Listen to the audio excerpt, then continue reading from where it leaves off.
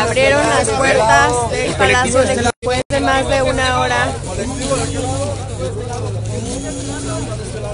En estos momentos están ingresando al Palacio Legislativo. No al fiscal carnal. Queremos seguridad. Primero entrará un contingente caminando.